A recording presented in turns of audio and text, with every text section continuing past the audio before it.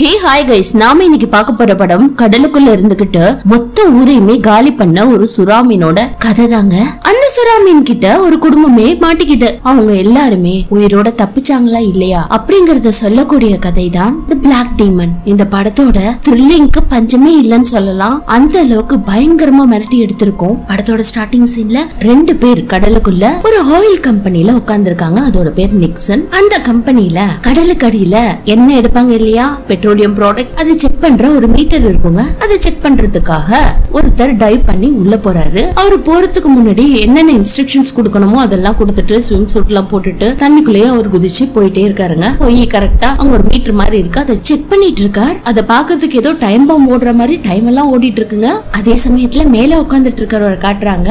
அவரு போர் அடிக்குதுன்னு ஒரு தம்ம பத்த வச்சுட்டு அந்த தீக்குச்சிய தண்ணிக்குள்ள தூக்கி போட. தண்ணில தான் ஆல்ரெடி பெட்ரோலியம் ப்ராடக்ட் கொஞ்சம் கசிஞ்சிருக்கும் இல்லையா? ஏன்னா பெட்ரோல் எடுக்கிற இடம்ங்கிறதுனால அந்த தண்ணி முழுக்க பெட்ரோலியம் ப்ராடக்ட் மிதந்துகிட்டே இருக்குங்க. இவர் அந்த தீக்குச்சியை தூக்கி போட அந்த இடமே நெருப்பு பிடிச்சிக்குது. அது பொக்குன்னு எரிய டக்குன்னு தண்ணி அள்ளி அது மேல தெளிச்சு அந்த நெருப்பையே கண்ட்ரோல் பண்ணிடுறாரு. அதுக்கப்புறம் சாங் கேட்டு அவரு பாட்டுல உட்காந்துட்டு இருக்காரு இந்த பக்கம் காட்டுறாங்க தண்ணிக்குள்ள போனவர் ரிட்டர்ன் வரலாம்னு நினைக்கும் போது டக்குன்னு ஒரு சின்ன சூழல். அவர் அப்படியே இழுத்துட்டு போயிருது. நான் அவர் எதிர்பார்க்காத விதமா அந்த இடத்துல கலர் கலரான வண்ண மீன்கள் அந்த இடத்தையே பிரகாசமா அப்படியே மின்ன செய்யுதுங்க. அதுல ஒரு ஜெல்லி பிஷ கூட தொட்டு பாக்குறாரு சுத்தி ஆயிரக்கணக்கான மீன்கள் மின்மினி பூச்சிகள் மாதிரி ஒளி வட்டமிட்டுகிட்டே இருக்குது. அந்த சமயத்துல கொடூரமா ஒரு சுறா கப்பல் சைஸ்ல ஒரு சுறா அவர் ஃபோர்ஸா நெருங்குது. அப்படியே கட் பண்ணி மேல காட்டுறாங்க. தண்ணி முழுக்க ரத்தமா இருக்குது. அத பார்த்து தண்ணிக்கு மேல உட்கார்ந்துட்டு இருந்தவர் என்னடா நம்ம உட்கார்ந்துட்டு இருக்க போட்டு ஆடுதே? ஒரு பயத்தோட தண்ணியை சுதாரிச்சுக்கிட்டு அப்படியே தண்ணிக்குள்ள என்ன இருக்குன்னு உத்து குறுகுறுன்னு பாத்துக்கிட்டு இருக்கார். அதே சமயத்துல கீழே காட்டுறாங்க. அந்த சுறா ஃபோர்ஸா ஆணு வாய பொழந்துகிட்டு அப்படியே அந்த போட்டை நெருங்குதுங்க. அந்த போட்டை விட சுறாவோட வாய் பெருசா இருக்கிறதுனால அப்படியே அந்த போட்டை ரெண்டாக்கிடுது. அந்த இடத்துல த பிளாக் டிமன் டைட்டில போட்டு படத்த ஆரம்பிக்கிறாங்க. இப்படி ஒரு டைட்டிலோட பயங்கர த்ரில்லிங்கா இந்த படம் ஸ்டார்ட் ஆகுது. அதை தொடர்ந்து ஒரு ஃபேமிலி தங்களோட வெக்கேஷனை ஸ்பெண்ட் பண்றதுக்கு கடலோரமா இருக்கிற பீச் ஹவுஸ் ரிசார்ட்டுக்கு போயிட்டு இருக்காங்க அந்த கடலுக்குள்ள நம்ம ஹீரோவுக்கு ஒரு வேலையும் இருக்குங்க. அந்த ஊரை நோக்கி போயிட்டு இருக்கும் போதே கார்ல பயங்கரமா சிட்சாட் பண்ணிக்கிட்டு பயங்கர லூட்டி எல்லாம் அடிச்சுக்கிட்டு எந்தவித கவலையுமே இல்லாம அந்த ஃபேமிலி போயிட்டு இருக்கு கார்ல போயிட்டு இருக்கும் அந்த பையன் பாத்தீங்கன்னா ஒரு பைரேட் ஐஸ் பேண்ட போட்டிருப்பாங்க கண்ணுல. அதே மாதிரி பெரிய ஸ்டெதஸ்கோப் மாதிரி ஒன்னா கையில வச்சிருப்பான். அவனுக்கு இந்த ட்ரிப் ரொம்ப ஆர்வத்தை கொடுத்துருக்கு.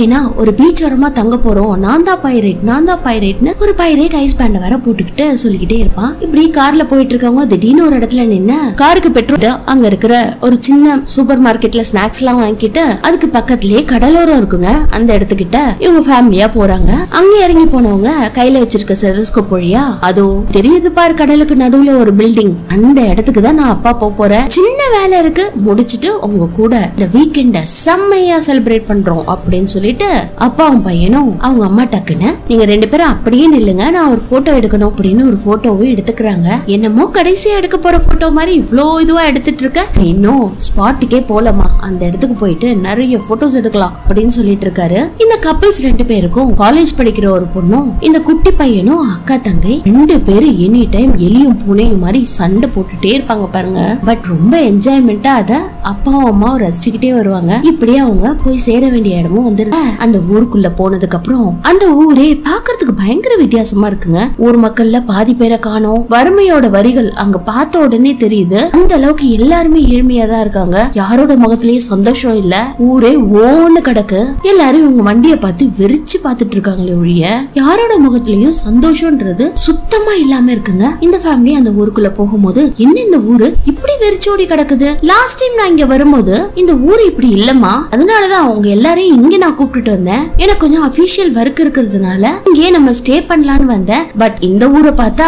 என்ஜாய் பண்ற மூடே போயிடும் போல இருக்கே அப்படின்னு சொல்லிக்கிட்டே வராங்க. இறங்கின உடனே யாருமே முகம் கொடுத்து பேசலங்க. ஒரு டீ கடையாவது இருக்குமா? அப்படின்ட்டு யாருக்கிட்டயாவது கேட்கலாம். அப்படின்னு காரை விட்டு இறங்கி ஹீரோவும் ஹீரோயினும் ஒரு ஃபிஷ் கட் பண்ணிட்டு இருக்காருங்க. அவர்கிட்ட போய் கேட்டோம்னா அவர் எந்த ஒரு பதிலும் கொடுக்கல. அதுக்கு பக்கத்துலயே ஒரு சின்ன கேங் உட்கார்ந்து இருக்கு அதுல ஒருத்தர் மட்டும் இவங்க பேசுற இங்கிலீஷ் பாஷையில அவர் எப்படி வாய திறந்து பேசுவாரு? அவர் எதுக்குமே வாய திறந்து பேச மாட்டாரு. அவர்கிட்ட போய் கேட்டுட்டு இருக்கீங்களே அப்படின்னு இவங்க ரெண்டு பேரும் அவங்க கிட்ட போறாங்க. சார் நீங்களாவது இந்த ஊர்ல பேசினதுக்கு ரொம்ப நன்றி. இந்த ஊருக்குள்ள எல்லாருமே ஏன் இப்படி அமைதியா இருக்காங்க? அப்படின்னு ஹீரோ கேட்க ஏன்பா நீ இந்த ஆயில் கம்பெனில வேலை பாக்குறவன் தானே?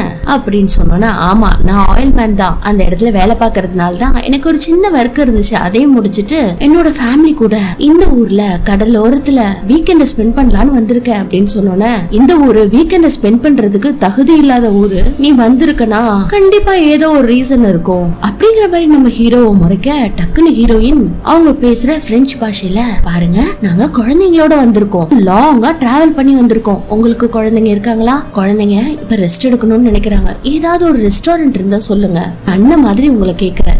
இந்த காசை கூட உங்க கம்யூனிட்டிக்காக வச்சுக்கோங்க.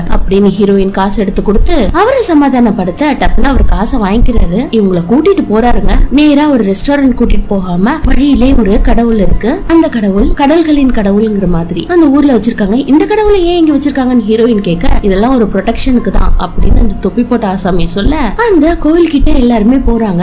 அந்த சமயத்துல இவங்க கூட வந்த இவங்க பையன் இருக்கான் இல்லைங்களா? அவன் கண்ணுல போட்டிருக்க பைரேட் ஐபாண்ட டக்குன்னு எடுத்துட்டு அந்த சாமி கிட்ட இருக்கிற ஒரு சின்ன சிலைய பாக்குறான் அந்த சிலையோ ஒரு கண்ணை மூடிக்கிட்டு இன்னொரு கண்ணை வழிகாட்டுற மாதிரி காட்டுது. அந்த பொம்மைய கையில எடுத்துக்கிட்டு அவன் கையில வச்சிருந்த ஸ்னிக்கர்ஸ் அந்த இடத்துல வச்சுட்டு அம்மா அப்பா கூட ஓட இதை இந்த தொப்பி போட்ட ஆசாமியும் பாக்குறாரு. அடுத்து இவங்கள ஒரு ரெஸ்டாரண்ட்ல விட்டுறாரு. நாங்க எங்க ரொம்ப சந்தோஷமா வீக்கெண்ட கழிக்க போறோம்னு சொன்னதுக்கு வியர்டா ஒரு பார்வை பார்த்துட்டு அந்த இடத்த விட்டு போக டக்குன்னு அந்த குட்டி பையன் ஓடி வந்து அவன் கண்ணுல போட்டிருந்த அந்த ஐரேட் டைமர்ஸ்க கழட்டி அந்த துப்பி போட்ட ஆசாமிக்கு கிஃப்டா கொடுத்துட்டு போறான். குழந்தை கொடுத்தத அவரும் வாங்கிக்கிறாருங்க. ஹீரோ தன்னோட பையனை கூட்டுக்கிட்டு அந்த ரெஸ்டாரண்ட் குள்ள போறாரு. ரெஸ்டாரண்ட் குள்ள ஒய்ஃபும் அவரோட பொண்ணும் இருக்காங்க. அந்த சமயத்துல அவருக்கு ஏதோ ஒரு ஃபோன் கால் வருது. அதை அட்டன் பண்ணி முடிச்சோன்னு அதை பார்த்துட்டு ஹீரோயின் என்னாச்சு? அப்படின்னு கேட்டோன்னே ஒன்னும் இல்ல. திடீர்னு நிக்சன் ஆயில்ல இருந்து எனக்கு கால் வந்துச்சு. நான் போய் இமீடியட்டா இன்ஸ்பெக்ஷன் பண்ணணுமா? என்ன ஆச்சுன்னு தெரியல. ஏதோ கொஞ்சம் ப்ராப்ளம் இருக்குன்னு நினைக்கிறேன். சீக்கிரமா முடிச்சுட்டு ஒரு ஃபியூ ஹவர்ஸ்ல திரும்ப ரிட்டர்ன் வந்துடுறேன். அப்படின்னு நானும் வரேன் அப்படின்னு அந்த பையன் சொல்ல இன்னும் அந்த அளவுக்கு பெரிய பையன் ஆகலடா. நீ வெயிட் பண்ண. நான் ஈவினிங் சன்செட் ஆறதுக்குள்ள ஓடி போயிட்டு ஒரு ஃபியூ ஹவர்ஸ்ல திரும்ப ரிட்டர்ன் வந்துடுறேன். அப்படின்ட்டு அவங்க அப்பா கிளம்புறாரு. போறதுக்கு முன்னாடி அங்க ஒரு ரிசப்ஷனிஸ்ட் இருக்காரு. அவர்கிட்ட காசை கொடுத்து கொடுத்தீங்க பாருங்க என் ஃபேமிலி தனியா இருக்காங்க. அவங்கள கொஞ்சம் பத்திரமா பாத்துங்க.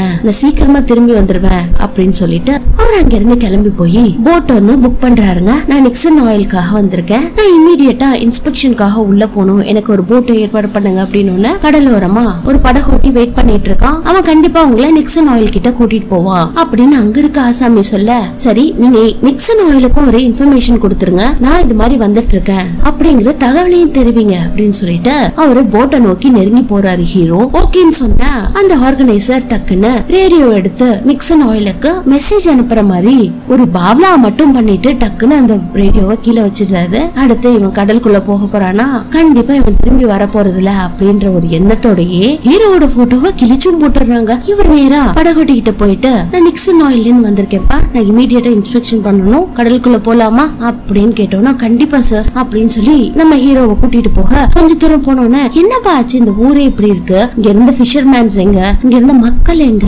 ஏன் எல்லாரும் ஒரு மாதிரி சோகமாவே இருக்காங்க? அப்படின்னு கேட்டோன்னே இல்ல சார் எல்லாமே இங்க பேட் ஸ்பிரிட் ஒரு கெட்ட அறிகுறி இருக்கிறதுனால தான் சார் அது மட்டும் இல்ல பிளாக் டீமனால தான் சார் அப்படின்னு சொன்னோன்னா பிளாக் டீமனா டீமனா அப்படின்னு திரும்ப திரும்ப ஹீரோ சொல்லிட்டு சிரிச்சுக்கிட்டே அவன் பாட்டுல கடல்ல வேடிக்கை பார்த்துட்டே வந்துட்டு இருக்கான். கொஞ்ச நேரத்துல பார்த்தா போன படகு திரும்ப ரிட்டர்ன் கரைக்கே வந்துருதுங்க என்னப்பா அது கடலுக்குள்ள இருக்கிற என்னோட கம்பெனிக்கு கூட்டிட்டு போனா கடலோரத்துல கொண்டு வந்து திரும்ப விட்டுட்டியே. அப்படின்னு அந்த படகோட்டிக்கிட்ட நம்ம ஹீரோ கேட்க இங்க பாருங்க எனக்கு பேட் ஓமன் மாதிரி இருக்கு. அது கெட்ட அறிகுறி மாதிரி இருக்குங்க. என்னால படகை கண்டினியூஸா ஓட்ட முடியாது. படகு சூப்பரா இருக்கு சார் நீங்க இப்படி புடிச்சு இப்படி ஹேண்டில் பண்ணி இப்படி ஓட்டினா போதும். படகு சும்மா கப்பல் மாதிரி நீங்க எங்க போகணுமோ அந்த இடத்த போய் சேர்ந்துரும் சார் அப்படின்னு படகையும் அவர்கிட்ட கொடுத்துட்டு அவரை தனியாவே அனுப்பி வைக்கிறான். அதுக்கு நம்ம ஹீரோ செல்ஃப் சர்வீஸ் இருக்குன்னு சொல்லவே இல்லையே உங்க முதலாளி அப்படின்ட்டு வண்டி எடுத்துக்கிட்டு அவரும் வேக வேகமா தன்னோட கம்பெனி நிக்சன் ஆயில நோக்கி போயிட்டு இருக்காரு அதே சமயத்துல கரையோரம் காட்டுறாங்க. இவங்க எல்லாரும் என்ன பண்றதுன்னு தெரியாம ரெஸ்டாரண்ட்லயே உட்காந்துக்கிட்டு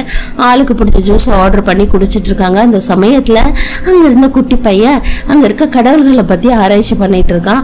ஒரு லேப்டாப்பை வச்சு கொஞ்ச நேரத்துல எனக்கு ரெஸ்ட் ரூம் வருதுன்னு அந்த பையன் ரெஸ்ட் ரூம் நோக்கி நடக்க அதே சமயத்துல அந்த பெப்புக்கு வந்திருக்க ரெண்டு மூணு ரவுடி பசங்க குடிச்சது மட்டும் இல்லாம இந்த ஃபேமிலி ஒரு மாதிரி பார்க்க பாக்குறாங்க டக்குன்னு நம்ம ஹீரோயின் கிட்ட வந்து என்ன பண்ணிட்டு இருக்கீங்க அப்படின்னு கேட்டோன்னே எங்க ஹஸ்பண்ட்காக நான் வெயிட் பண்ணிட்டு இருக்கேன் நாங்க எங்க சுத்தி பார்க்க வந்திருக்கோம். அப்படின்னு சொன்னோன்னே ஓ ஹஸ்பண்டோ இல்ல எந்த ஒரு ஹஸ்பண்டோ இங்க இருந்த மாதிரி இல்லையே. ஓ அப்ப ஹஸ்பண்ட தேடிட்டு இருக்கியா அப்படின்னு மோசமா பேசிட்டு பக்கத்துல உட்காந்துட்டு இருக்க ஹீரோயினோட பொண்ணு கைய பிடிக்க என் பொண்ணு கையில இருந்து கையை எடுடா அப்படின்ட்டு கோவப்பட்ட ஹீரோயின் பக்கத்துல இருந்த சோடா பாட்டில் மாதிரி ஒன்னு எடுத்து மண்டையிலே அடிச்சிடுறாங்க.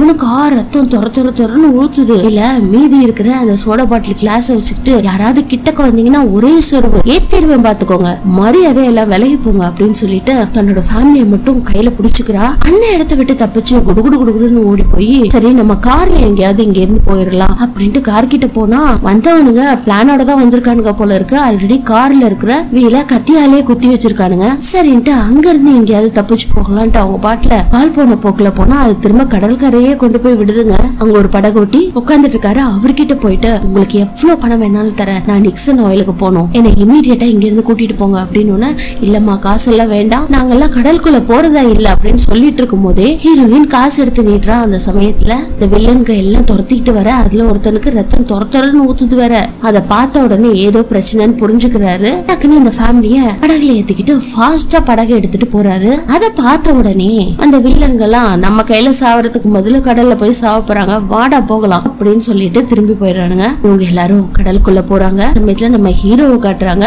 ஹீரோ மோர் ஆர்லெஸ் அந்த நெக்ஸன் கம்பெனி கிட்டே போயிட்டாருங்க. ஆனா அங்க நிறைய பவழப்பாறைகள் மேலேயே தென்படுது. அதுல நிறைய பொருட்கள்லாம் மிதந்துட்டு இருக்கு அது மட்டும் இல்ல அந்த நிக்சன் கம்பெனி கிட்ட ஏரியல் ஷாட்ல காட்டுவாங்க பாருங்க.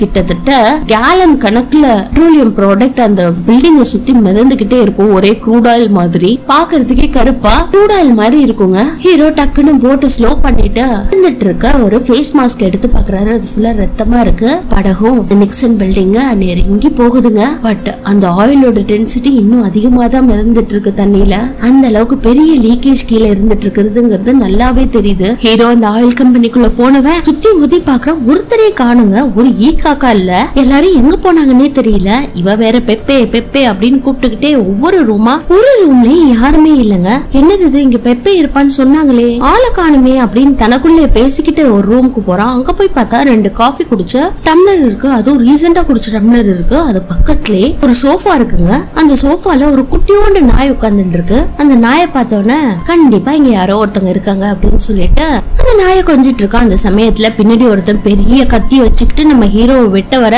திரும்பி பார்த்த ஹீரோவுக்கு பயங்கரமான ஷாக் தூக்கி வாரி போட்டிருக்கு. என்ன வெட்டாதீங்க என்ன விட்டுடுங்க. பெப்பே எங்க? நான் வந்து இந்த கம்பெனில ஒர்க் பண்ற இன்ஸ்பெக்ஷனுக்காக இங்க வந்திருக்கேன். உங்களுக்கு ஆல்ரெடி வர்றதுக்கு முன்னாடியே கிளம்புறதுக்கு முன்னாடியே ரேடியோ மூலியமா தகவல் கொடுக்க சொன்னனே உங்களுக்கு தகவல் வந்து சேரலையா அப்படின்னு சொன்னோன்னே நீங்க ரொம்ப லேட்டா வந்திருக்கீங்க. எது வழியா வந்தீங்க? அப்படின்னு ஒரு மோட்டர் போட் வழியா வந்தேன். அப்படின்னு நம்ம ஹீரோ சொல்ல அந்த இடத்துக்கு இன்னொருத்தனும் வந்துடுறான். என்னது மோட்டர் போட் வழியாவா? அப்படின்னு சொல்லிட்டு ஏதோ ஒரு சத்தம் கேக்குது அப்படின்னு அந்த இடத்த விட்டு ரெண்டாவதா வந்தவன் கடகடன் வெளியில போக அவனை ஃபாலோ பண்ணிட்டு இன்னொருத்தனும் போயிடுறான். நம்ம ஹீரோவும் என்னாச்சு? அப்படின்ட்டு ஃபாலோ பண்ணிட்டு வெளியில போய் பார்த்தா ஏதோ ஒரு சத்தம் கேக்குது. பட் என்னன்னு தெரியல. இவங்க எல்லாரும் பைனாக்குலர் மாதிரி ஒண்ணு வச்சு என்ன வருது? அப்படின்னு பார்த்தா நம்ம ஹீரோட ஃபேமிலி அது என்னோட ஃபேமிலிங்க அப்படின்னு ஹீரோ சொன்னோன்னே ஏன்பா நீ தனியா தானே வந்திருக்கேன்னு சொன்னேன் இப்போ உன் ஃபேமிலி அந்த இடத்துக்கு வந்துட்டு இருக்கு எவ்வளவு பெரிய ஆபத்து இருக்குன்னு தெரியாம எல்லாரும் விளையாண்டுட்டு இருக்கீங்க அப்படின்னு சொன்னோன்னே ஹீரோ டக்குன்னு என்ன சொல்றீங்க? அப்படின்னா இந்தாங்க பைனாக்குலர். என்ன நடந்துட்டு இருக்குன்னு பாருங்க அப்படின்னு கொடுத்தோன்னே ஹீரோவும் பாத்துட்டு இருக்காரு. அப்பதாங்க நமக்கே காட்டுறாங்க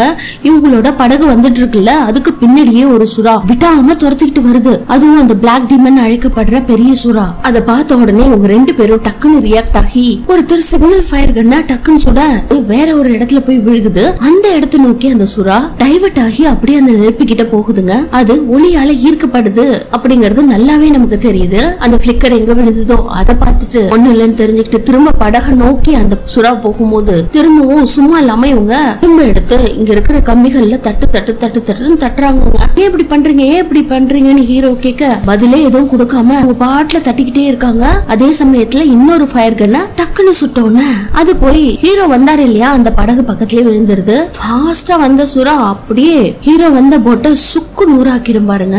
அதுக்குள்ள ஹீரோட ஃபேமிலியும் இந்த கம்பெனியை நெருங்கிடுறாங்க. ஆல்மோஸ்ட் ஹீரோயினும் அந்த குட்டி பையனும் இறங்கிடுறாங்க போட்டை விட்டு. ஆனா அந்த பொண்ணு இறங்குறதுக்குள்ளேயே படகோட்டி டக்குன்னு போட்டை எடுத்துடுறாரு. அதுல மிஸ் ஆனவ டக்குன்னு கடலுக்குள்ளே விழுந்துடுறாங்க. கடலுக்குள்ள பார்த்தா துண்டாக்குன கைகளும் கால்களும் உடம்புகளும் மிச்ச மீதியும் சல்லி சல்லியா அடிக்கப்பட்டு கொதரப்பட்டு அப்படியே மனித உறுப்புகள் மிதந்துகிட்டே இருக்கு. அதை பார்த்த உடனே ஹீரோட பொண்ணுக்கு கதி கலங்கி போயிடுது.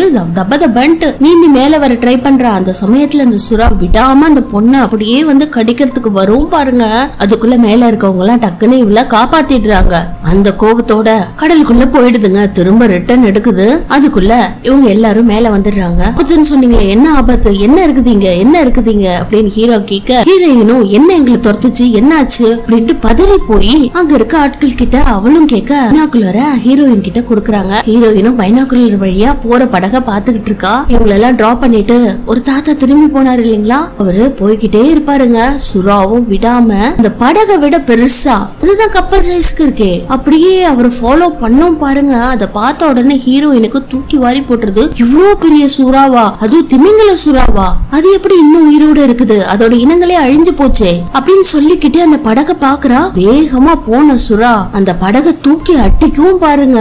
ஒரே அடி ரெண்டா உடஞ்சு படகு சுக்கல் சுக்கலா நொறுங்கி போயிடுது. அதை பார்த்த ஹீரோயினுக்கு தூக்கி வாரி போடுது. நம்ம வந்த படகும் போயிடுச்சு. ஆல்ரெடி ஹீரோ வந்த படகும் நொறுங்கி போயிடுச்சு. இங்க இருக்கவங்க எல்லாம் எப்படி தப்பிச்சு இந்த இடத்த விட்டு வெளியில போறதுன்னே தெரியல. அதுல இன்ஸ்பெக்ஷனுக்கு வந்த ஹீரோ அந்த இன்ஸ்பெக்ஷனை கரெக்டா பண்ண முடியுமா என்னன்னு தெரியல. ஏன்னா தண்ணிக்குள்ள சுறா இந்த இடத்தையே வட்டமிட்டு இருக்கு என்ன பண்றதுன்னு தெரியாம எல்லாரும் கதி கலங்கி போய் ஆள் ஆளுக்கு ஒரு ரூம்ல இருக்காங்க. அந்த சமயத்துல அந்த படகுல இருக்க ஒரு டீ மாதிரி ஏதோ ஒண்ணுத்த எல்லாருக்கும் போட்டு கொடுக்குறாரு. இந்த சமயத்துல அந்த கிச்சன்ல அந்த குட்டி பையன் அவன் கையில வச்சிருந்த பொம்மை மாதிரியே நிறைய பொம்மைகள் அங்க இருக்க ஷெல்ஃப் மேல இருக்கிறத பாக்குறாங்க. டக்குன்னு ஹீரோயின் வெளியில வந்து இங்க என்ன நடக்குது? அப்படின்னு தன்னோட ஹஸ்பண்ட் கிட்ட கேட்க இங்க பாருங்க இங்க இருக்கிற கனெக்ஷன் எல்லாமே கட் ஆயிடுச்சு. எங்களை யாராவது காப்பாத்த வருவாங்களான்னு நாங்களே பாத்துட்டு இருந்தோம். நல்ல வேலையா நீங்க வந்தீங்க. ஆனா இங்க இருந்து எப்படி தப்பிச்சு போறது? அதுக்குதான் வழி இல்லையே அப்படின்னு திங்க் பண்ணிட்டு இருக்கும் போதே ஹீரோயின் பயங்கரமா பதறா. என்ன பண்றது? எப்படி இங்க இருந்து தப்பிச்சு போறது? அப்படின்னு ஹீரோயின் திரும்ப திரும்ப கேட்க அம்மா இங்க பாருங்கம்மா இங்க இருந்து தப்பிச்சு போக முடியாது. நடந்த ஆபத்தை நீங்களே பாத்தீங்கல்ல அப்படின்னு ஒருத்தர் சொல்ல அதை கேட்ட ஹீரோ இங்க பாருமா இங்க ஷார்க் இருக்கு. ஒரு வகையான ஷார்க் அததான் யோசிச்சுட்டு இருக்கோம் அதை பத்தி தான் பேசிட்டு இருக்கோம் அப்படின்னு சொன்னோன்னே பக்கத்துல இருக்க ஒரு அது பேர் மெக்லோடன். அது ஷார்க் எல்லாம் கிடையாது அப்படின்னோடனே அப்போ இங்க இருக்கிறது மெக்குன்னு சொல்ல வரீங்க. மெக்கெல்லாம் உயிரோட இல்ல அப்படின்னு அந்த குட்டி பையன் வந்து சொல்றான். அதுங்க இனமே அழிஞ்சு போச்சு அப்படின்னு சொன்னோன்னே இல்ல இப்போ இங்க எல்லாரையும் கொண்டுட்டு இருக்கிறது மெக்கு தான் இந்த ஊர் மக்களையே இங்க வாழ்ந்த மீன்கள் அத்தனையையும் அந்த ஒரே மெக்கு தான் அடிச்சு குதறி போட்டுச்சு. இவர் எந்த நேரம் பார்த்தாலும் இந்த இடத்துல டீமன் இருக்கு டீமன் இருக்குன்னு சொல்ல ஹீரோக்கு பயங்கர ஃப்ரஸ்ட்ரேஷன் ஆயிடுது. குழந்தைங்க எங்க அதை கேட்டு ரொம்ப பயந்துருவாங்களோன்னு இன்னொரு பக்கம் பதட்டமும் இருக்கு. ஹீரோ அதை கேட்டோன்னே இந்த ஆளுக்கு வேற வேலையே இல்ல. டீமன்ஸ் இருக்கு அது இருக்கு இது இருக்குன்னு பயங்கரமா உளறிட்டு இருக்கான். அப்படின்னு குழந்தைகளையும் ஒய்ஃபையும் கன்வின்ஸ் பண்றாரு. அடுத்த சீன்ல அப்படின்னு சொன்னோன்னு நீங்களே ஏன் இங்க வந்தீங்க? நீங்க போங்க அப்படின்னு சொல்லிட்டு குழந்தைங்களை ஒரு ரூம்ல உட்கார வச்சுட்டு என்ன பண்ணலாம்னு திங்க் பண்ணிட்டு இருக்காங்க. அந்த சமயத்துல அந்த பையன் மேல இருந்து எடுத்து அந்த போட்டை எடுத்து பெயிண்ட் பண்ண ஆரம்பிச்சிடுறாங்க. பக்கத்துலயே அவனோட சிஸ்டரும் உட்காந்துருக்கா இந்த தடவை அவங்க ரெண்டு பேரும் சண்டை போட்டுக்கவே இல்ல. அவ கீழே தண்ணிக்குள்ள பார்த்து அதிர்ச்சியில அப்படியே உட்காந்துருக்கா அந்த குழந்தையோ எப்படியாவது மேல இருக்க பொம்மை மொத்தத்தையும் எடுக்கணும்ட்டு ட்ரை பண்ணிட்டு இருக்கா அந்த குட்டி பையன். அதே சமயத்துல ஹீரோயின் தண்ணியும் இல்ல ஒண்ணும் இல்ல. எப்படி இங்க குழந்தைகளை வச்சுட்டு சர்வே பண்றது? நம்ம இங்க இருந்து தப்பிச்சு போற வரைக்கும் நமக்கு உணவு அட்லீஸ்ட் தண்ணியாவது வேணும் இல்லையா? அப்படின்ட்டு அவ ஒரு பக்கம் கேட்க எல்லாரும் ஃபெடப் ஆயிடுறாங்க. அதுக்கப்புறம் ஒரு முடிவுக்கு வந்து அங்க இருந்த ரெண்டு பேரும் கீழே என்ன இருக்கு? எதனால ஆயில் இந்த அளவுக்கு லீக்கேஜ் ஆகுது. வாட்டர் பைப்போட கனெக்ஷன் என்ன ஆச்சு அப்படிங்கறதெல்லாம் பாக்கலான்ட்டு ரெண்டு பேரும் ஸ்விம் சூட் போட்டுக்கிட்டு இந்த தடவை அவங்க ஸ்விம் பண்ணி போலங்க ஒரு பெரிய இரும்பு பாக்ஸ் மாதிரி இருக்கு. அதுக்குள்ள தண்ணிக்குள்ள போகலாம்னு முடிவு பண்றாங்க. போறதுக்கு முன்னாடி அந்த குட்டி பையனுக்கு அந்த ரெண்டு பேர்ல ஒருத்தர் தான் கழுத்துல இருக்க கயிறை பிரசன்டா கொடுத்துட்டு போறாருங்க. இவங்க ரெண்டு பேரும் அந்த பாக்ஸ் மாதிரி இருக்கு இல்லைங்களா? அதுக்குள்ள போனதுக்கு அப்புறம் கயிறு இறக்கப்படுது தண்ணிக்குள்ள போறாங்க. ஒரு குறிப்பிட்ட லெவலுக்கு மேல ரீச் ஆன உடனே இவங்க மானிட்டர் மூலியமா உள்ள ஒரு மானிட்டர் வச்சிருக்காங்க. கடல் கடியில. அதே மாதிரி ஹீரோ கையில ஒரு மானிட்டர் இருக்கு. அது மூலியமா கம்யூனிகேட் பண்ணிட்டு இருக்காங்க. ஹீரோவும் அங்க என்ன நடக்குதுன்னு மானிட்டர் வழியா பாத்துக்கிட்டே இருக்காரு. இவங்க கீழே போனவங்க ஒரு இடத்துக்கிட்ட வந்த உடனே இந்த இடத்துல ஸ்டாப் பண்ணுங்க அப்படிங்கிற மாதிரி சிக்னல் காட்ட டக்குன்னு மேல இருந்த ஹீரோ ஒரு லீவரை ஓபன் பண்றாரு. அந்த பாக்ஸ்ல கீழே ஒரு மூடி மாதிரி இருக்கு. அது ஓபன் ஆகுது. ரெண்டு பேரும் கீழே டைவ் அடிச்சு தண்ணிக்குள்ள போயிட்டு அந்த பைப் எல்லாம் பாக்குறாங்க. அதுல ரெண்டு பைப் கட் ஆகி இருக்குது. கட் ஆனதையும் மானிட்டர் வழியா ஹீரோ கிட்ட காட்டுறாங்க. இதனாலதான் ஆயில் லீக்கேஜும் ஆகுது. தண்ணி கனெக்ஷனும் வரல அப்படிங்கிற மாதிரி பேசிட்டு சைகையிலே பேசிட்டு இவங்க ரெண்டு பேரும் திரும்ப அந்த பாக்ஸ் மாதிரி இருக்கு இல்லைங்களா? அதுக்குள்ள மேல வரலான்னு ட்ரை பண்ணும்போது ஒருத்தர் மட்டும் ஏதோ ஒரு பச்சை கலர் வெளிச்சம் தெரியுதே அப்படின்ட்டு அதை நோக்கி ஸ்விம் பண்ணி போறாரு. ஒருத்தர் அந்த கூண்டை நோக்கி போயிட்டு இருக்காரு. அந்த கூண்டை நோக்கி போறவருக்கு ஒரே இல்யூஷனா இருக்கு. அந்த இடத்துக்கிட்ட ஒரே கைகள் கால்கள் ஏன் ஈவன் கண்ணு கூட பக்கத்துல வதந்துட்டு இருக்கும். உடனே கண்ணை மூடி ஒரு செகண்ட் தன்னோட தலையை அப்படி குலுக்கிட்டு நம்ம பாக்குறதெல்லாம் கனவு இது ஒரு டிமானிக் ஆக்டிவிட்டி அப்படிங்கிற மாதிரி தனக்குள்ளே நினைச்சுக்கிட்டு டக்குன்னு வேக வேகமா ஸ்விம் பண்ணி அந்த பாக்ஸ்குள்ள போய் அதுல ஏறி நிக்கிறாருங்க. கண்ணாடி வழியா வெளியில என்ன நடக்குதுன்னு பாத்துட்டு இருக்காரு. அதே சமயத்துல பச்சை கலர் லைட் எரியுதுன்னு ஒருத்தர் அந்த பக்கம் ஸ்விம் பண்ணி போனார்ல. அங்க போய் பார்த்தா டூ ஹவர்ஸ் பிப்டி எயிட் செகண்ட்ஸ்னு டைம் பாம் ஓடிட்டு இருக்குங்க. அந்த இடத்துல இதுக்கு முன்னாடி ஒருத்தர் வந்தாரு இல்லைங்களா? அவரு டைம் பாம்பை தான் கட்டி வச்சிருந்திருக்காரு. நான் கூட ஏதோ ரீடிங் எடுக்கிற மீட்டர்னு நினைச்சிட்டேன். இந்த தடவை கிளியரா அது ஒரு டைம் பாம்னு தெரியுது. டக்குன்னு வேக வேகமா அந்த பாக்ஸ நோக்கி நீந்தலான்னு அப்படியே திரும்புறாரு. அவரை கிராஸ் பண்ணிக்கிட்டு மெக்கு. செம்ம ஃபாஸ்டா நீந்தி போகும் பாருங்க. அது ஸ்விம் பண்ணி போற ஸ்பீட்ல இவர் அப்படியே பின்னுக்கு தள்ளிடுதுங்க என்ன பண்றதுன்னு தெரியாதவரு. ஏன் நிதானமா நின்னுட்டு இருக்காரு அதே சமயத்துல மிஷின்குள்ள நிக்கிறவரு. என்ன வருதுன்னு பாத்துட்டு இருக்காரு ஏசுரா எக் இவரை நோக்கி வந்துட்டு இருக்கு அப்படியே கோர பட்களை ஓபன் பண்ணிட்டு வேகமா வந்து அந்த மிஷினை ஒரே இடி. ஏன்னா அதுல லைட் வேற எரிஞ்சிட்டு இருக்கு இல்லைங்களா? அந்த இடிச்ச இடியில மூடப்படாம இன்னும் ரோப் எல்லாம் உருவிக்கிட்டு ஃபாஸ்டா கீழே இறங்கிக்கிட்டே இருக்கு. அதே சமயத்துல ஹீரோ டக்குன்னு மேல இருந்தவரு இது ஒரு ஆபத்துன்னு புரிஞ்சுக்கிட்டு கடகடன் மேல போயிட்டு மேல இருக்க பட்டனை அதாவது அவங்க ரெண்டு பேரும் இரும்பு கூண்டுக்குள்ள இருந்தாங்க இல்லையா? அதுக்கு கீழே ஒரு மூடியை திறந்தாங்க இல்லையா? அந்த மூடியை மூடுறதுக்கான பட்டனை அமுக்கி அமுக்கி பாக்குறாரு அது ஆப்ரேட்டே பண்ண முடியல. ஒரே நெருப்பு பொறியா இருக்குது. ஹீரோ டக்குன்னு வேகமா குத்து குத்துன்னு போட்டு குத்த. அதே செகண்ட் கீழே காட்டுறாங்க. ஓர்ஸா வந்து அந்த மேக்.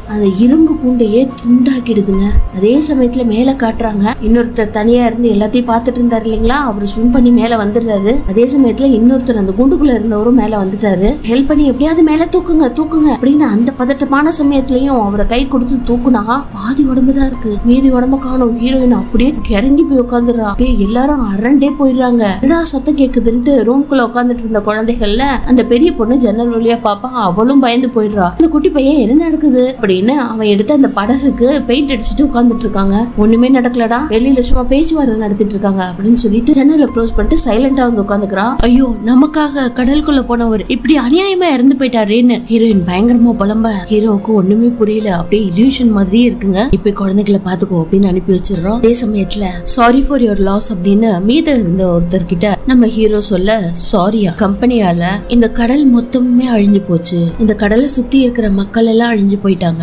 ஒரு கடல் பறவைகள் கூட கிடையாது. அது மட்டும் இல்ல இங்க டீமன்ஸ் மட்டும்தான் வாழ்ந்துட்டு இருக்கு அப்படின்னு திரும்ப திரும்ப சொல்லிட்டே இருக்காரு. அந்த சமயத்துல அவர் குடிச்சிட்டு இருக்க அதே ட்ரிங்க்ஸ் இவரும் வாங்கி குடிக்கிறாருங்க கொஞ்ச நேரத்துல பார்த்தா நிறைய கப்பல் மிதந்து போயிட்டு இருக்க மாதிரி இருக்கு. நம்ம ஹீரோ சும்மா இல்லாம பிளார் கன் எடுத்து டொப்புன்னு சுட்டு ஹேய் ஹெல்ப் பண்ணுங்க ஹெல்ப் பண்ணுங்கன்னு கத்த.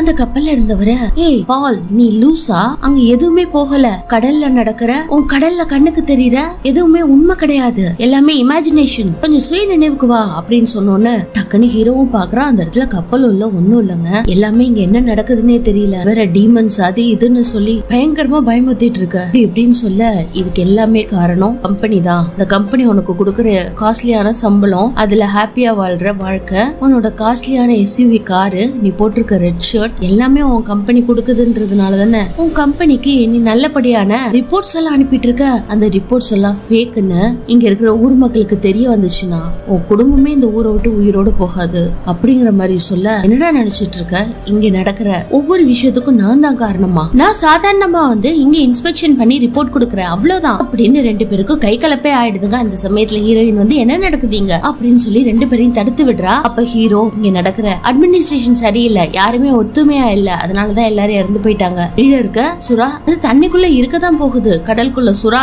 திமிங்கலம் இது எல்லாமே இருந்துட்டு தான் இருக்கும். அதுக்காக நம்மளால நீந்த முடியாது வேலை செய்ய முடியாதுன்னா எப்படி அப்படிங்கிற மாதிரி புலம்பிக்கிட்டே போறாங்க. நேரா போனவன் இதுக்கெல்லாம் ஒரு முடிவு கட்டுறேன் கட கடன் ரூம்குள்ள போறான். குழந்தைகள் இவன் வாயில ரத்தம் வரதை பார்த்துட்டு ஏன்னா இவங்க ரெண்டு பேரும் கை கலப்பாச்சு இல்லையா? வாயிலே ஒரு பொக்குன்னு ஒரு குத்து விட்டுருப்பாரு. இல்லம்மா வரும்போது ஸ்டார் கேஸ்ல இடிச்சுக்கிட்டேன்னு பொண்ணு கிட்ட பதில் சொல்லிட்டு என்னத்தையோ தேடிட்டு இருக்காரு. என்னத்தங்க அதை தேடிட்டு இருக்கீங்க? என்னங்க வேணும்? அப்படின்னு ஹீரோயினும் வந்து கேக்குறா அந்த சமயத்துல அந்த குட்டி பையன் அப்பா இங்க பாருங்க. இந்த கடல் தண்ணி எல்லாம் எப்படி வந்துச்சுன்னா குழந்தைங்களோட கண்ணீரா. குழந்தைங்க வந்து இங்க இருக்கிற கடல் அரசனுக்கு குழந்தைகளை காவு கொடுப்பாங்களாம். காவு கொடுத்தாதான் அந்த கடல் அரசன் திருப்தி அடையுமா? இங்க இருக்க டிமானிக்கு அதுதான் வேணுமாப்பா. அது நல்லா குழந்தைங்களோட கண்ணீர் தான் வாட்டர் வேஸ் அப்படிங்கிற மாதிரி ஏதுதோ பெணாத்துது இதெல்லாம் நீ எங்கேருந்து தெரிஞ்சுக்கிட்டேன்னு அந்த கோயிலுக்கு போனல அந்த கோவில்ல குழந்தைகள் நரபலி கொடுக்குற மாதிரி இருந்துச்சு. அது மட்டும் இல்ல இன்வெஸ்டிகேஷன் பண்ணி பார்க்கும்போது இந்த கடவுளுக்கு இதை பண்ணணும் அந்த கடவுளுக்கு அதை பண்ணணும்னு பயங்கரமான ஒரு பிரீஃப் எக்ஸ்பிளனேஷனே கொடுத்தோன்னே ஹீரோவுக்கு பயங்கர கோவம். இருந்தாலும் மனசுக்குள்ள அடக்கி வச்சுட்டு இங்க பாருப்பா அதெல்லாம் ஒண்ணும் கிடையாது.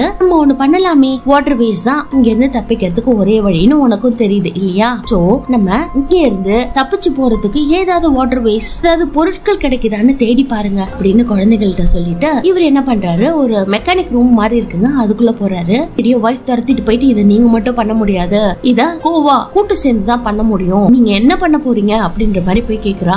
முதல்ல இங்க பவர் சப்ளையே இல்ல. பவர் சப்ளை இல்லாததுனால தண்ணி இல்ல. நமக்கு பவர் சப்ளை இருந்தாதான் நம்மளால இதுக்கு மேல திங்க் பண்ணி ஏதாவது ஒண்ணு பண்ணி இந்த இடத்துல இருந்து எஸ்கேப் ஆக முடியும். நீ என்ன பண்ண? குழந்தைங்க கூட போயிட்டு ஏதாவது நமக்கு கிடைக்குதா? பொருட்கள் கிடைக்குதா? படகு மாதிரி இல்ல ஏர் பேக்ஸ் மாதிரி ஏதாவது கிடைக்குதான்னு பாரு. கண்டிப்பா இருக்கும். அதை எடுத்து அதுல இருந்து தப்பிக்கிறதுக்கு நம்ம ட்ரை பண்ணலாம். அப்படின்னு சொல்லிட்டு இருக்கும் போதே இன்னொருத்தரும் வந்து நான் ஹெல்ப் பண்றேமா நீ போயிடு. அப்படின்னு சொல்லிட்டு ஹீரோயினா அனுப்பி வச்சிருக்காரு அதுக்கப்புறம் பால் கிட்ட பால் நீங்க என்ன பண்ண போறீங்க? அப்படின்னு கண்டிப்பா ஒரு பைப்பு ஏர் பிளாக் ஆயிருக்கு. அதை நம்ம கட் பண்ணோம்னா கண்டிப்பா நமக்கு வாட்டர் பில்ஸ் வரும். அது வழியா நமக்கு அட்லீஸ்ட் டெலிபோனையாவது இல்ல ஜென்ரேட்டரையாவது ஃபிக்ஸ் பண்ண முடியும். அப்படிங்கிற மாதிரி ஒரு டியூபா கட் பண்றாரு. கட் பண்ணிட்டு இதை நீங்க என்ன பண்ண போறீங்கன்னா நமக்கா இதை வெல்டிங் பண்ண தெரியாது. அதெல்லாம் பண்ணிக்கலாம். இப்ப நான் என்ன பண்ண போறேன்னா கீழே போயிட்டு என்ன இருக்கு? ஏது இருக்குன்னு நான் செக் பண்ண போறேன். எதனால லீக்கேஜ் இருக்கோ அதை நான் கிளியர் பண்ண போறேன். அப்படின்னு ஹீரோ சொன்னோன்னே வேணா கீழே அந்த டீமன் சுத்திட்டு இருக்கு. உங்களை உயிரோட விடாது. அப்படின்னு சொன்னோன்னே இல்ல இல்ல நான் பாத்துக்கிறேன். அதெல்லாம் என்னால சமாளிச்சு வந்துட முடியும். அப்படின்னு பால் பயங்கர பெருமையா சொல்றாரு. இந்த பக்கம் காட்டுறாங்க. குழந்தைங்க எல்லாம் ஆளுக்கு ஒரு பக்கமா அந்த குட்டி பையன் அந்த போட்டுக்கு பெயிண்ட் அடிச்சுக்கிட்டே இருக்கான். அந்த பொண்ணு ஏதாவது கிடைக்குமா இல்லையான்ட்டு? ஒரு ஒரு கப்போட தேடி பார்த்துட்டு இருக்கா. அதே மாதிரி ஹீரோயினும் பண்ணிட்டு இருக்காங்க. அந்த சமயத்துல அந்த குட்டி பையன் ஏதோ ஒரு ஃபுட் இருக்குங்க. அதை எடுத்து சாப்பிடுவான். அது நல்லா இல்லைன்னு சொல்லிட்டு திரும்ப கபோர்ட்ல வைக்க போவான். அந்த இடத்துல இன்னொரு பொம்மை கிடைக்கும். இவன் கிட்ட இருக்கிறது ஆறு பொம்மைங்க. ஒருத்தர் கடலுக்குள்ள போய் இறந்தாரு இல்லையா? அந்த விஷயம் இன்னமுமே இந்த குழந்தைக்கு தெரியாது. இந்த குழந்தை என்ன பண்ணுது? இந்த படகை எடுத்துட்டு போயிட்டு நம்ம கடல்ல ஒரு சாக்ரிஃபைஸ் மாதிரி பண்ணுனா இந்த கடல் ராஜாவுக்கு கோபம் இல்லாம நம்ம இந்த இடத்த விட்டு தப்பிச்சு போயிடலாம்னு நினைச்சுக்கிட்டு அந்த படகுல வரிசையா ஒரு ஒருத்தர் பேரா சொல்லி எல்லா பொம்மையும் உட்கார வச்சு அந்த படகை நீந்து விடுதுங்க. கொஞ்ச தூரம் அந்த படகு போயிருக்கும். திடீர்னு பார்த்தா அவங்க அப்பா பேர் சொன்ன பொம்மை டபக்குன்னு கீழே விழுந்துருது. அதை பார்த்த உடனே இதுக்கு ஷாக் ஆயிடுது. அதே சமயத்துல கீழே இருந்து ஷாக் ஏதோ ஒண்ணு படகு மாதிரி நீந்து வருத. அப்படியே பார்த்துட்டு செம்ம வேகமா வரும் பாருங்க. குழந்தைக்கு ஒண்ணும் புரியாது. அது குட்டி அந்த டாய் படகையே பார்த்துட்டு இருக்கும். அந்த சமயத்துல இந்த ஷார்க் மாதிரி இருக்கு. மெக் வேகமா வந்து ஒரே மோது மோத குழந்தை அப்படியே நெல்ல தடு மாதிரி கீழே விழுந்துடுறான் கடலுக்குள்ள விழுந்துடுறான் அதை பார்த்த உடனேயே ஹீரோயின் மேல இருந்து அப்படியே குதிச்சிருவா. ஹீரோ ரெண்டு ஸ்டெப் கீழே இறங்கி அதுக்கப்புறம் அவனும் தண்ணிக்குள்ள குதிச்சிடுறான். பொண்ணு சும்மா இல்லாம அவளும் ஏர் பேக்க தூக்கி அவங்க மேல வரதுக்காக ஹெல்ப் பண்ணிட்டு இருப்பாங்க. எப்படியோ குழந்தைய அம்மா காப்பாத்திடுறா. அதே சமயத்துல ஷார்க் அவங்கள நோக்கி வந்துட்டு இருக்கு. அதை பார்த்த உடனே ஹீரோ கையில வச்சிருக்க ஸ்க்ரூ டிரைவரால தட்டு தட்டு தட்டுன்னு அங்க இருக்க டேங்க தட்டுறான். டக்குன்னு ஷார்க் எந்த சைட்ல இருந்து சத்தம் வருதோ அதாவது ஹீரோ நின்னுட்டு இருந்த பொசிஷனை பார்த்து அப்படியே ஃபாஸ்டா வந்துட்டு இருக்கு. அந்த சமயத்தை பயன்படுத்திக்கிட்டு அம்மாவும் பிள்ளையும் மேலே ஏறிடுறாங்க. இப்போ டார்க் ஹீரோ பார்த்து வந்துட்டு இருக்கோங்க. அவர் ஃபாஸ்டா நீந்தி மேல வர்றதுக்குள்ள டக்குன்னு மேல இருக்கவர் வந்து இவரையும் காப்பாத்திடுறாரு. என்னப்பா பண்ண? எதுக்காக கடலுக்குள்ள போன? அப்படின்னு சொல்லிட்டு குழந்தைய படுக்க வச்சுட்டு அம்மா பயத்தை போக்கிட்டு உட்காந்துட்டு இருப்பா. அந்த சமயத்துல ஹீரோ அந்த இடத்துக்கு வராரு. டக்குன்னு ஹீரோயின் மூஞ்சி திருப்பிக்கிறா. எதுக்காக மூஞ்சி திருப்பிக்கிற? அப்படின்னு கேட்டோன்னே இந்த கடல் அழிஞ்சு போனதுக்கு இந்த கடலோர இருக்க மக்கள் அழிஞ்சு போனதுக்கு நீங்க தான் காரணம். இந்த கடல்லையும் இந்த எண்ணெய் எடுக்கிறதுனாலையும் இந்த கடல் சேஃப்டியா இருக்கணும்னு நீங்க தான் ரிப்போர்ட் கொடுத்துருக்கீங்க. ஆனா இந்த கடல் வளமே அழிஞ்சு போனதுக்கு நீங்க ஒருத்தர் தான் காரணம். நீங்க சரியான டீமன் அப்படின்னு சொல்லிட்டு பயங்கரமா பேசிடுறா. அதே சமயத்துல குழந்தைகளும் அவங்க ரெண்டு பேரும் சண்டை போட்டுக்கிறத வந்து பாக்குதுங்க. குழந்தைங்க பாக்குது அமைதியா பேசு அமைதியா பேசணும் குழந்தைகளுக்கு இந்த விஷயம் தெரிஞ்சா என்ன? இங்க ஒரு பொய்யான கையெழுத்தை போட்டு நம்ம குடும்பம் நல்லா இருக்கணும் அப்படிங்கிறதுக்காக இந்த ஊர் மக்கள் வெளியில எல்லாம் செத்துக்கிட்டு இருக்காங்க. அதெல்லாம் உங்களுக்கு கண்ணுக்கு தெரியலையா? ஒரு கடல் பறவையை கூட நான் பார்க்க முடியல. அப்பனா இந்த கடல்ல மீன்களே இல்லைன்னு அர்த்தம். எந்த அளவுக்கு கடல் தண்ணி பொல்யூட் ஆயிருந்தா இந்த அளவுக்கு பாதிப்பு இருந்திருக்கும். கடலுக்குள்ள மீன்களே இல்லாததுனால தான் கடலுக்கு நடுவுல ஆழத்துல இருக்கிற மேக் வெளியில வந்து இப்ப மனுஷங்களை கொண்டுட்டு இருக்கு அப்படி இப்படின்னு கத்திடுறா. அதே சமயத்துல ஹீரோக்கு மனசு உடைஞ்சு போயிடுது. அவரோட தப்ப உணர்ந்துடுறாரு. கில்ட்டி கான்சியஸாவும் இருக்கு. அதாவது தன்னோட குடும்பம் நல்லா இருக்கணுங்கிறதுக்காக இந்த இடத்துல நிக்சன் ஆயில் கம்பெனி என்ன எடுக்கலாம்? எந்த ஒரு பிரச்சனையும் இல்ல. பாதிப்பே இல்ல. இந்த இடம் சேஃப்டியா ரன் ஆயிட்டு இருக்கு. அடிக்கடி நான் இன்ஸ்பெக்ஷன் பண்ணுறேன் இந்த இடத்துல எந்த ஒரு டேமேஜும் இல்லை பொல்யூஷன் இல்லை அப்படிங்கிற மாதிரி ஒரு ரிப்போர்ட்டை கொடுத்துருக்காங்க. அது எவ்வளோ பெரிய தப்பு? பணத்துக்காக இது மாதிரி இந்த வேலையை பண்ணியிருக்கான். அதுக்கப்புறம் தன்னோட தப்பு உணர்ந்தவன் நான் கடலுக்குள்ள போக போறேன் அப்படின்னு சொல்லிட்டு அந்த இடத்துல இன்னொருத்தர் இருக்கார் இல்லையா? அவர்கிட்ட சொல்ல என்ன பிரச்சனை? அப்படின்னு கேட்டோம்னா ஆமா இந்த இடத்துல நிக்சன் ஆயில் ஓபன் பண்ணும் போதே இந்த கடல் அவ்வளோ அழகா இருந்துச்சு. ஆனா இந்த கம்பெனி ஓபன் பண்ணதுக்கு அப்புறம் இந்த கடல் கடல் மாதிரியே இல்ல. ஒரு பெரிய சுடுகாடா மாறிடுச்சு. இந்த கம்பெனி இந்த அளவுக்கு சக்சஸ்ஃபுல்லா ரன் ஆயிட்டு இருக்கிறதுக்கு காரணமும் நான் தான். கடல்ல எல்லா மீன்களும் இறந்து போனதுக்கு காரணமும் நான் தான். வெளியில இருக்க மக்களுக்கு இந்த ஊரை சுத்தி இருக்கிற மக்களுக்கு இந்த விஷயம் தெரிஞ்சுச்சுன்னா நீங்க சொன்ன மாதிரி என்னோட குடும்பத்தையும் அவங்க விட்டு வைக்க மாட்டாங்க. கண்டிப்பா இங்க இருக்க மக்களுக்கு இந்த உண்மை தெரிஞ்சாகணும். அவங்களுக்காக நான் ஒரு பெரிய விஷயத்த பண்ண போறேன். கீழே பாம்பு ஒண்ணு இருந்திருக்கும். அதை நீங்க கவனிச்சிருப்பீங்க இல்லையா? அது இன்னும் சில மணி நேரத்துல வெடிக்க போகுதுன்னு எனக்கும் தெரியும். அதனாலதான் நான் கொஞ்சம் பதட்டமா இருந்தேன். அந்த பாம்பை எடுத்து இங்க இருக்க மெக்க நான் அழிக்கிறதுக்கு ட்ரை பண்ண போறேன். அப்படி நீங்க பேசிட்டு இருக்கும் போதே மேல காட்டுறாங்க. இவங்க ஒரு படகு மாதிரி ஒன்று தான் கண்டுபிடிச்சிட்டாங்க அதை எடுத்துட்டு வந்து ரிப்பேர் பண்ணணும்னு சொல்லிட்டு அங்க இருக்கு தர்மாக்கூல் கெமிக்கல் எல்லாத்தையும் ஒன்னா சேர்த்து ஒரு கம்மு மாதிரி ரெடி பண்ணி சின்ன சின்ன ரப்பர் துண்டுகளா சில பார்ட்ஸ்ல இருந்து எடுத்து எல்லாத்தையும் ஒட்டி ஒரு பெரிய ஹேர் பேக் மாதிரி ரெடி பண்ணிடுறாங்க. சின்ன படகு மாதிரி இருக்கும் இல்லைங்களா? லைஃப் போட் மாதிரி ரெடி பண்ணிடுறாங்க. அதுவும் ஏர் ஃபில்அப் பண்ணப்பட்டு நல்லாவே இருக்குங்க. நல்ல கண்டிஷன்ல இருக்கு. இல்ல பால் இதுக்கு முன்னாடி நீ செஞ்சிருந்தது தப்பா இருந்தாலும் இந்த தடவை உனக்கு குடும்பம்னு ஒண்ணு இருக்கு. அதை விட்டுட்டு நீ கீழே போய் அந்த மெக்க நீ கொல்லணும்னு ஆச்சுன்னா நீயும் இறந்து போயிடுவ அப்படின்னு சொன்னோன்னே இல்ல இல்ல ஒரு டைம் பாம் இருக்கு இல்லையா? அதை எடுத்து நான் மெக்கோட வாயில போட்டுட்டு கண்டிப்பா நான் எஸ்கேப் ஆகி வந்துருவேன். அதுக்குள்ள என் குடும்பத்தை சேஃப்டியா கூட்டிட்டு போயிடுங்க. இந்த இடத்த விட்டு சேஃப்டியா கூட்டிட்டு போயிடுங்க அப்படின்னு சொல்லிட்டு